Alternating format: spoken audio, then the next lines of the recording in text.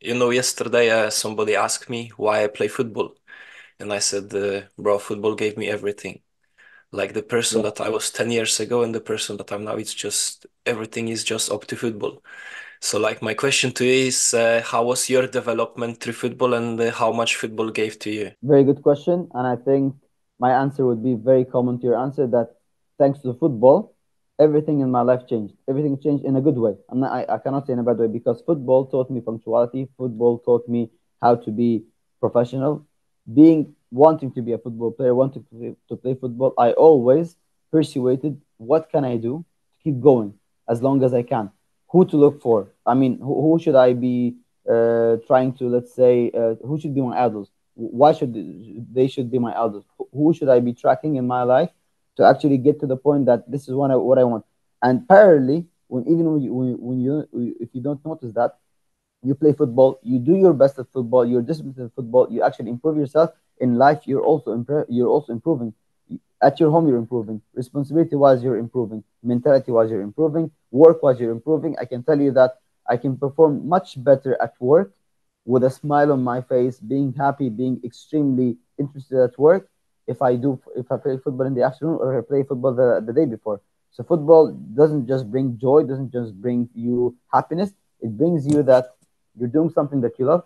It changes you as a person internally because really football feeds your brain, feeds your mentality, feeds your feeds everything. For me, it's the reason why I, for example, take care about my health, take care about my food. What should I eat? When do I sleep? Why don't I party? I don't go party. I don't want to party. I'm happy. I have fun.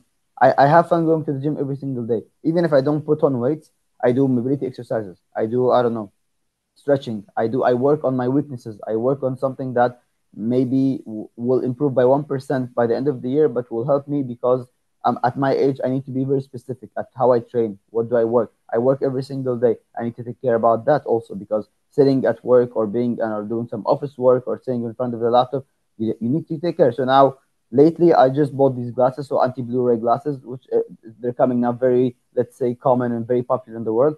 They are very useful. They really help you. They really increase the, for example, the quality of the service. Such a small detail. I know people will say, "Oh, come on, what glasses? What? What? They help." I know they, there's like a small amount of, let's say, improvement, but they help. And if you can actually get the small details from every single part, small details build up to make a huge detail, and this big detail will make a big difference at the end.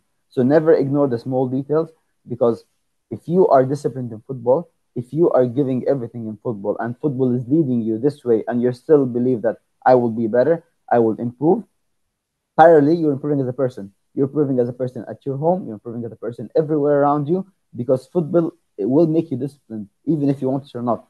If, if it's your decision to give up or you don't want to actually give 100% in football it's, it's up to you. I'm, i cannot guarantee that you will be a better person in, in other parts but if you guarantee that guarantee me that every day you will be giving 100% if you if you guarantee me guarantee me that every day you will not be partying. You'll be going to the gym, or you'll be going to work on your weakness, or you'll be reading, or you'll be improving as a person in that way. Only in football, because that, that is where you're concentrated.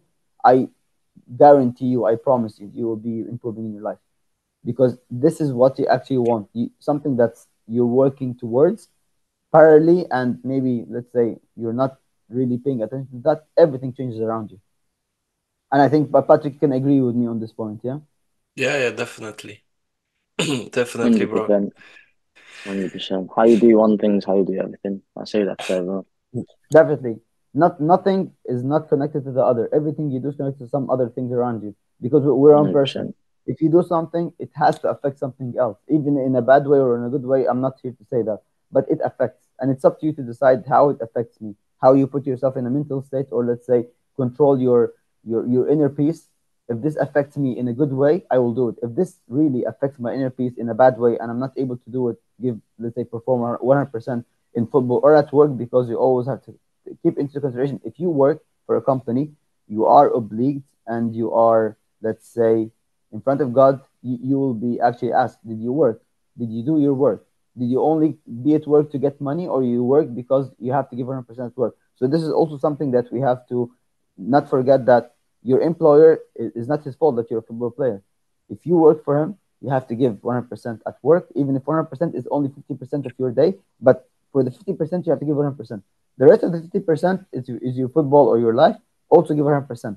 If you give 100% in every part of your life, if you are able to actually get to the point that I give my all in every single part of my life, which is quite difficult, but believe me, at the end of the day, you'll say, I did everything. I was good at work because I gave work what it deserves. I gave football what it deserves. I gave my stomach what it deserves. I gave my body what it deserves. I gave my family what they deserve. You will be happy. You, you will be fair. This is being fair in life. And God, if you're fair, God will be fair with you and you will get much more than you expect. This is what I always think. You have to do, if, if God puts you in, in a way or in a place where you are able to give, you don't want to give, I'm sorry, but you're selfish. You can give. If you, as long as you can give, as long as you can help others, even by a word. And Ahmed, I, I think you're you're also a Muslim. So in our religion, being smiling to your to your friend is a is a mm. good deed. So even if you mm-hmm. go out in the street or be a good person, just smile at your friend. If you just smile, this is a good deed. Imagine how small it is and how big of a difference can it make for a person who's having a bad day. You just go to him and say, "Hey man, how are you? Are you good today? Come on, smile. It's okay. Everything will be fine." You just smile at him you walk by, and then he, at the end of the, at the, day, at the end of the day, he comes and tells you, "Ahmed, thank you. You came to me. You smiled at me, and thanks thanks to you, I'm I'm actually having I felt better, or you made me feel better today." This is success. Mm. This is what you should do. You should not be throwing bad words at people. You should not be arrogant. You should not be a vulgar person. You should be a person who when you speak, either you speak good or you don't speak at all. Because what you say, words, if they come out of your mouth, they cannot be, be taken back, unfortunately. So you have to be careful what words you choose, what to say, what not to say, especially when the situation is quite critical or people might be affected by the words. So this is something also it's it's hard, let's say, to to somehow control but if you think mm. about it in a way that I'm doing this because I also would expect people to smile at me. I want people to tell me good things. I want people to tell me positive things to keep to stay in the in the say in the in the environment which I created for myself, and also to stay in the mental state where I am always motivated. I'm always running. I'm always fueled to keep going, moving forward. I'm always in the same path. I don't want to be going right or left or having a detour. This is what you if this is what you expect from people to tell, to do to you, do it to them. Start cover yourself. Don't don't tell people that come on, do this for me, uh, or I will not do it. Do it first. You'll get it. You don't do it. Don't expect people to do it for you. Start by yourself.